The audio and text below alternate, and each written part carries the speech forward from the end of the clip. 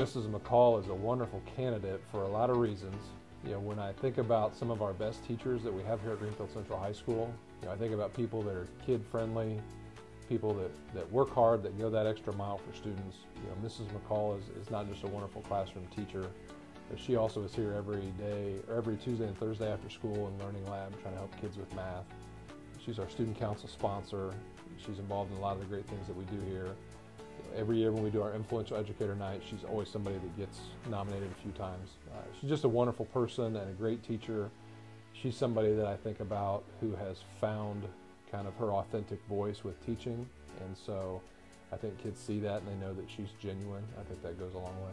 I think talking about learning for all and all for learning, you know, Mrs. McCall is somebody who really embodies what we want with our students. Uh, you know, she has classes with some of our, our top students and she has classes with some kids who, you know, struggle a little bit more with math. And she's able to, to teach all those kids, she's able to reach those kids, she's able to engage those students. So she really, she really does. She, you know, if she doesn't reach a student, she takes that very personally. And so I think that's part of why she's such a great teacher. I know she puts a lot of pressure on herself, and she works hard, and she, she goes the extra mile for those kids. I think Mrs. McCall has an impact on her students in a lot of different ways. You know, not just making them feel valued and making them feel seen. I think that's one of the big things we hear with Mrs. McCall and her students is that they they feel like she cares about them and she gets to know them and understand what they're going through. You know, she's not just there to teach them math. She's there to, to be a, a good moral compass for them and to be someone that they can talk to. You know, we hear that a lot, not just with their, their students in class, but also with the students in student council as well. So she's a great role model and she's somebody that, that is very dependable and just somebody they can go to if they ever need anything. She is one of those quiet leaders and I think that's one of the reasons she is such a great role model for her colleagues. I think you know, Sarah is somebody who is going to work hard. She is going to be a positive influence in the room. She's going to listen. She's going to communicate with people. She just does a really great job all around.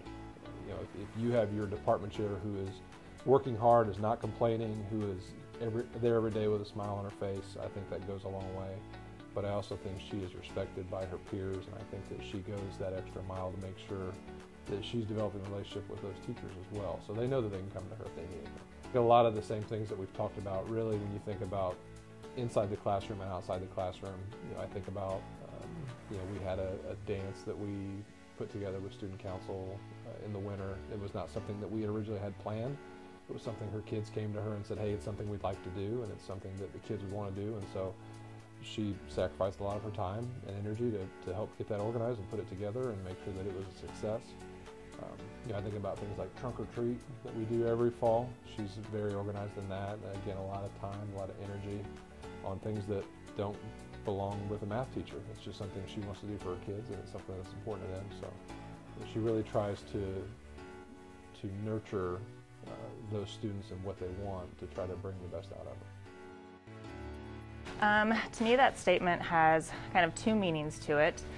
The first one, I feel like it is my job as a teacher to make my lessons accessible to all students no matter where they come in, what level they're at, and try to help them take something away from that lesson, whether in my calculus classes that's kind of the in-depth knowledge or just the basic understanding of the content that we're going over, just trying to get every student to be able to walk out of here gaining something. Um, I know not all students are going to be using math as they leave here and go on um, further in life, which is fine. Um, but there's plenty of other things that we go over in here, just that problem solving skill and that um, perseverance going through the problem. So hopefully some of them just take that. But again, just making sure that all students are really gaining something. Um, the other part of this statement to me is the fact that all of us here in our corporation, whether it's from kindergarten up to my calculus class, all of us are working together to really help create students that are lifelong learners to help them um, be successful as they leave the classroom, but we all have to work together to accomplish that. Um, I think my classes kind of just in the nature of themselves, they walk in the door and they're already kind of out of their comfort zone. Um, in my Algebra 2 class, I would say that at that level, I try to um, throw in a few extra like little projects that are things that maybe aren't quite as guided as what they're used to. So they have to come up on their own and be creative, which in a math classroom is not always what's happening, so kind of pushing them to combine those two things, the math and the creativity. Um, in AP Calc, like I said, I feel like they walk in the door and they're already kind of pushed out of their comfort zone. They are used to having classes where we're given types of problems and we just learn how to solve them and then we repeat that process again later. But in um, calculus, it's not so much that. You're learning the basics and then you have to learn how to apply that. So learning that application skill um, in my class is uh, kind of pushing those students a little further than they're used to. Um, I feel like a lot of the kids that I have um, love math in general and love kind of going beyond what we do in here. So anytime a student comes to me um, with a question that is even beyond what I know or what we're teaching in this class, um, I encourage them to kind of go out on their own and research that themselves and bring that back to me and maybe even teach me something new that I didn't know about the content and above and beyond what we've done in here.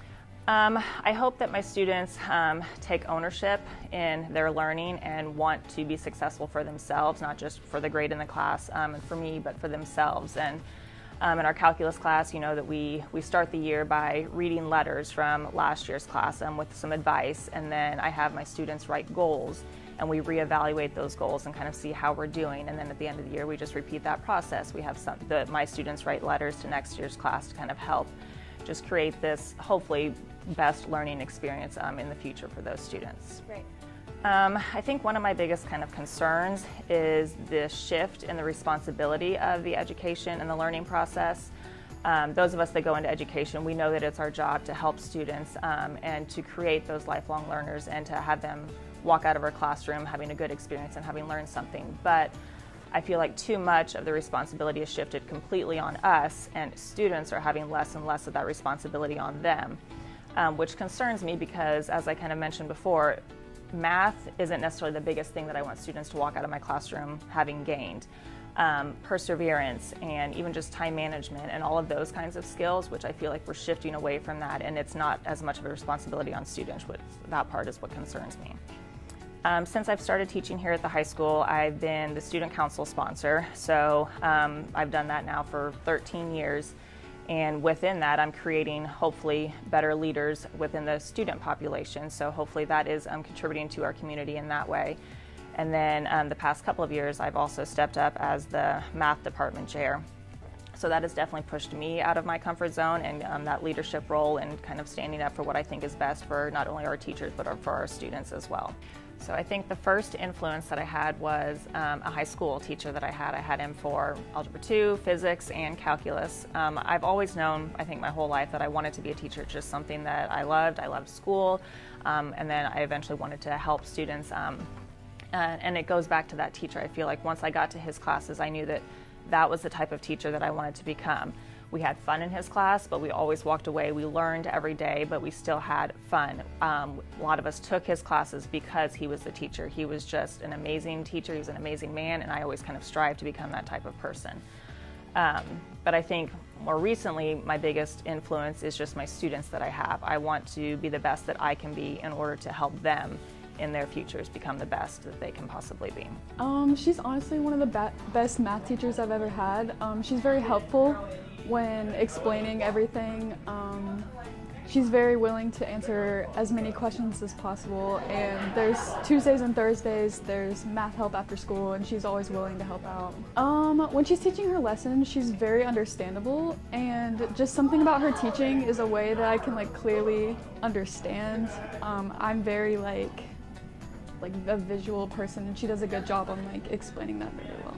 Um, I've had Mrs. McCall two times since my sophomore year, and she's always been a really strong, supportive teacher. She's always been willing to take the extra steps to help me understand the content, and she's always been extra willing to stay after school or do whatever she can to help me be a better learner. So she's always she's really kind and compassionate. She's understanding, but also she's willing to push you even when you aren't willing to push yourself.